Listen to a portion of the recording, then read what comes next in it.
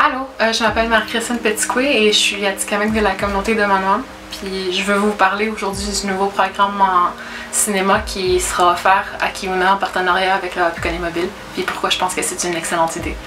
Euh, Kiuna m'a vraiment aidé à comprendre la complexité du colonialisme et des impacts que ça a sur nos vies.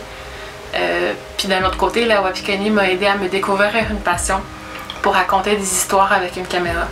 Donc euh, je pense que l'union de ces deux univers euh, va vraiment créer les prochains et les prochaines Alanis Obomsawin de ce monde, c'est-à-dire des cinéastes autochtones qui vont raconter nos propres histoires selon nos perspectives à nous. Puis ça, je trouve que c'est vraiment hot.